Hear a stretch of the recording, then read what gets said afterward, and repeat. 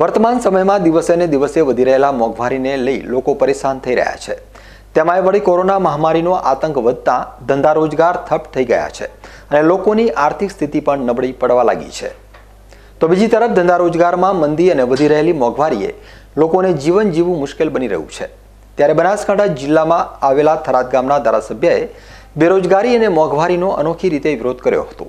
જેમાં થરાદના ધારાસભ્ય ગુલાબસિંહ રાજપૂતે આજે વિધાનસભાનું સત્ર ચાલુ થાય છે, ત્યારે ધારાસભ્યના નિવાસસ્થાનેથી સાયકલ ઉપર બેસી ગેસ, પેટ્રોલ અને ડીઝલના ભાવમાં થઈ રહેલા વધારાને કારણે બેનરો સાથે વિરોધ પ્રદર્શન કર્યો હતો.